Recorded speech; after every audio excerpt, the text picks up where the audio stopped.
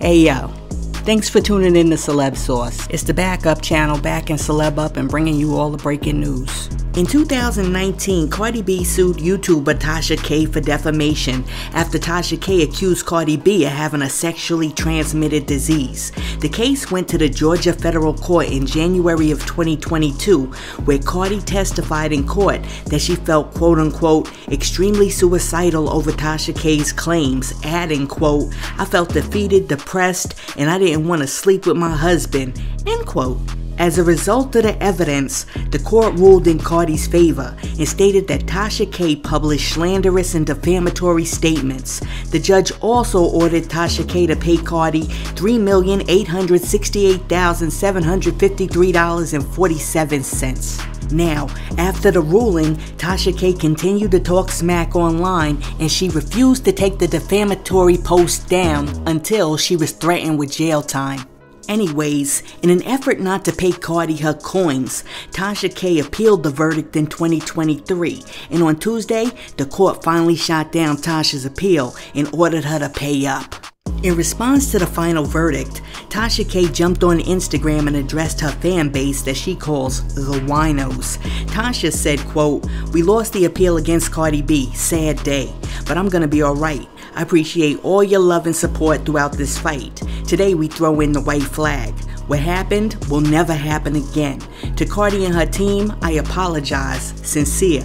We live and we learn. End quote. In a follow up post, Tasha K also posted a photoshopped picture of herself working at McDonald's with a caption that said, quote, talk about a check my mouth can't cash, end quote. And then after that, she came back and said, quote, hashtag Tasha K gets a job. I'll let y'all know what part-time gig I get so I can pay off this darn debt. Hashtag I ain't got it, but I'm gonna get it. At McDonald's, at Wendy's, at Burger King, any positions available, I will do anything. Quote. Okay, so basically to sum it up, Tasha K was like, I'm so sorry, Cardi. I'll do anything to pay off my debt. I'll do anything, Cardi. I should have never lied and said you had herpes on YouTube. well, anyway, after your girl Tasha K went on the apology tour, a whole lot of people came through in the comments, and one person said, quote, aha, you're gonna make love McDonald's, and Cardi having it her way. Quote. And then another person came through and said, quote, fix the ice cream machine while you're there. End quote. Hey yo, why is the ice cream machine at McDonald's always broken? But anyway, back to the story. Everybody was not against Tasha because somebody came through and said, quote, Tasha, you may not want to hear this, but I'm sorry you didn't prevail in this lawsuit. And it's crazy to see that so many black people cheering her on when they wasn't there from the beginning. I thought I was doing something right. You owned up to it, and that's all that matters. End quote. No, that's not all that matters. See, too many people are running around out in these streets and they think that they could do whatever they want, and as long as they come back and they say, I'm sorry, that it's all good. Sometimes the things that you do have consequences. As a grown behind woman, you know darn well the consequences that you rolling around talking about Cardi has a STD can have. You don't know how many arguments that woman ended up having with Offset in the late, late hours of the night because of that crap that you said. And her marriage could have ended in divorce. Why? Because you wanted to get a few coins on YouTube. I'm telling you, Tasha K was so pressed to get a few coins in her pocket, so she got out of pocket, and that's why all of her coins are now in Cardi's pocket. Hey yo, on to the next story.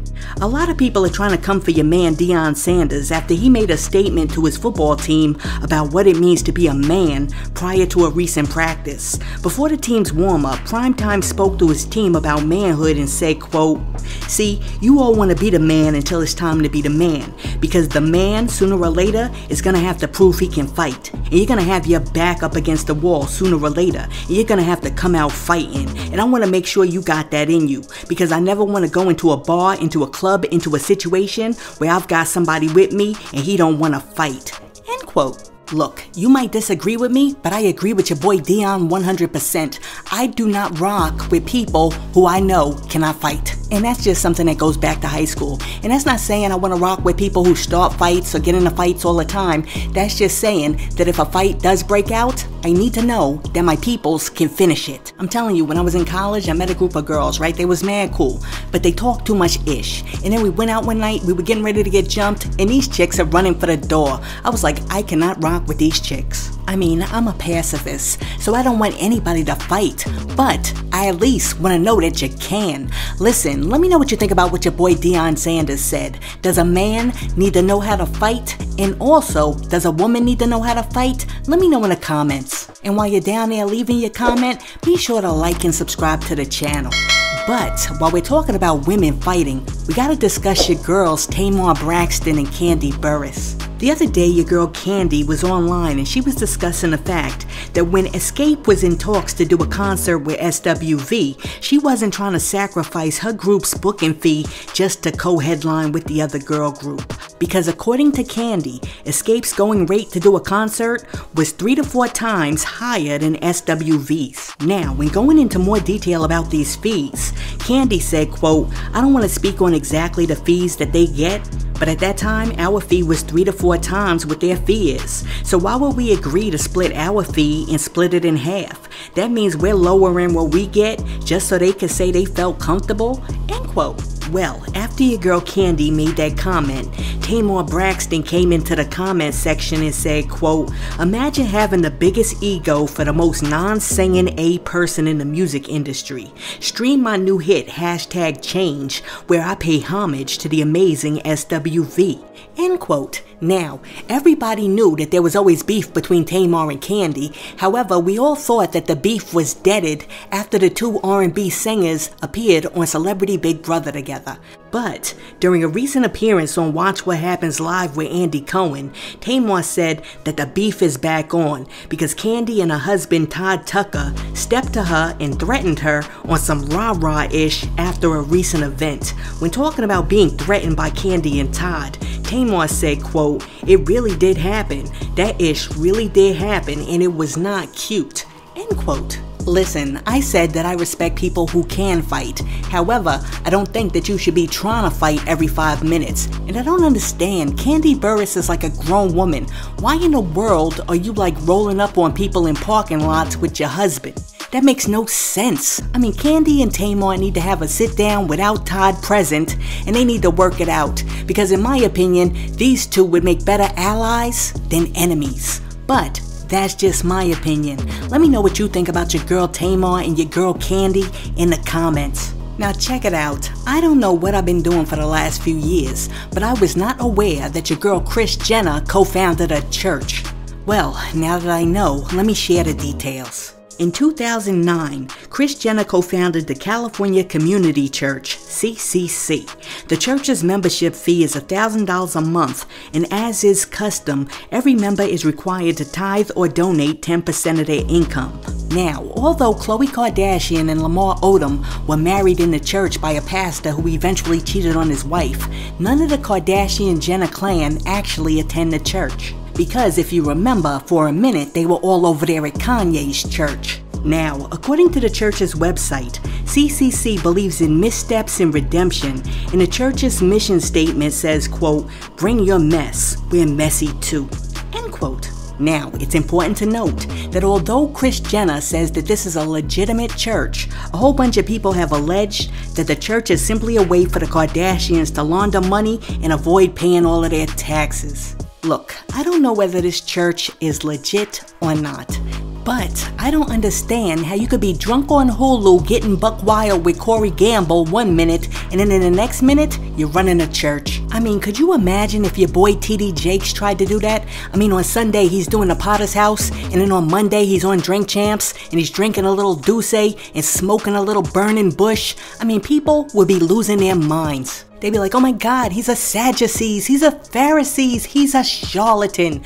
But I mean, the Kardashians seem to get away with stuff that other people cannot. I mean, it's very interesting. Listen, let me know what you think in the comments. Do you think that your girl Kris Jenner is negating all of her good works that she does in church by being drunk on Hulu? Now, while we're talking about the things that people have been doing on TV, recently everybody's been talking about Donald Glover's Swarm. And while they've been talking about Swarm, they've been talking about Chloe Bailey's sex scene. And every time that her sex scene comes up, everybody seems to be bringing up Halle Berry's sex scene in Monster's Ball. So recently a woman came online and she said, quote, Halle Berry is not black, she's biracial white passing. Plus, she was Hollywood's favorite. Meagan Good just talked about how hard her career has been taking these types of roles. Chloe will learn the hard way. We don't make up the rules. End quote. Um, I'm totally confused right now because even though Halle Berry is biracial, she is not white passing, nor has she ever been white passing. Halle Berry is a black woman because white passing actually means that you can pass for white, and Halle Berry ain't passing for nobody's white. Trust me, nobody in the history of the world has ever looked at Halle Berry and been like, oh my goodness, look at that beautiful white woman. So, the chick who said this is nuts. Now, your girl Mariah Carey tried to pass at one point, but not your girl Halle Berry. Listen, you gotta know, if a person has one white parent and a black parent, the kid is black. Listen, let me know in the comments, do you agree with me or not? If two people get together, one's white, one's black, what race is the baby? And for all you people out there who say the baby is mixed, I got another question for you. When the baby grow up and the baby gets stopped by the cops, what race is the baby? Just a little something to think about. And while you're thinking about that, let me know how you feel about your girl Chloe Bailey doing a sex scene in Swarm. Do you think that she's laying the foundations for a stellar career in acting? Or do you think that she's ruining her career before it even gets started? Now, check it out. The other day, your boy Tekashi69 got jumped in a LA Fitness bathroom. Three dudes sporting Crocs and socks stomped this dude out for being what they call a snitch. After your boy Tekashi was pummeled, he was rushed to the hospital for care. And now, a whole bunch of people are reacting to the video of Tekashi getting jumped. For example, your boy Boosie jumped on Twitter and said, quote, laughing my A off, snitches get stitches. Let's start a GoFundMe for this guy. We need to start a GoFundMe for this guy. Like Cookie Money say, we gotta start rewarding the real ones. Now, on the other hand, your boy Wack 100 came through and wrote, quote, It's unfortunate what happened to 6 9 He's a good guy. Life is full of lessons. This isn't about his so-called street situation. This is about decision making on both sides. The one who filmed and posted themselves will remember this day for many years to come. And 6 9 will now know that he has to move accordingly. Hashtag stay dangerous and don't hesitate. Wish him a speedy recovery. Quote. Listen, number one, Boosie is full of crap. Why? Because we don't need to be like putting these dudes up on a pedestal for beating somebody down. Two, your boy Wack100 is sending mixed messages because in one breath he's like this shouldn't have happened, and then in the other breath he's like hashtag stay dangerous. What the heck is that? That doesn't even make any sense. That's all over the place. But three, three dudes walked into LA Fitness, which means that they have a membership, which means that they had to have their credit cards on file. And these dudes thought it was a smart idea to jump Tekashi 69 who was in the plastic pom pom shorts for something that they didn't have nothing to do with. And on top of that, you know you're being videotaped, so you're beating up the snitch for snitching while you're basically snitching on yourself. That is the dumbest thing ever. And what in the world did you accomplish? Cause Tekashi's still gonna be out on the streets doing Tekashi while y'all are all locked up. I mean, what do you get out of it? Like 20 years from now, you're gonna be talking to your grandkids and you're gonna be like, yeah, I remember me and my boys jumped this circus clown cause he was a snitch. That's just dumb. Listen, I think today's video has a theme, and the theme has a moral. And the moral is after a certain age, which is in your teens, you don't need to be out there fighting. And let's say you are out there fighting. I have no respect for people who have to jump somebody. If you're gonna throw the hands, throw the hands one on one. But you gotta understand that that right there isn't even the best recourse. Because the best recourse is that if you got beef with somebody, pull them to the side and have a conversation with them. But listen, let me know what you think about your boy Tekashi, your boy Boosie, and your boy Wack 100 in the comments. Hey yo, thanks for tuning in to Celeb Source, your source for celebrity news. Be sure to like and subscribe to the channel. Peace.